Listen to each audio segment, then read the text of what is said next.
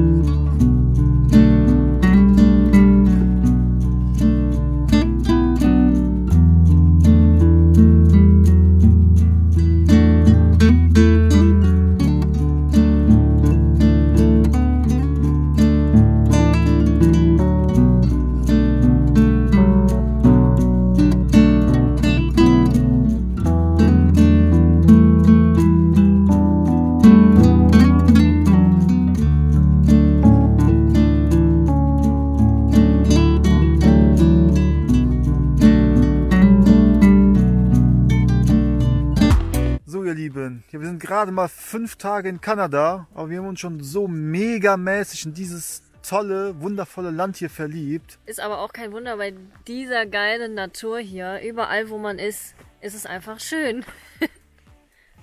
Kommt nach Kanada.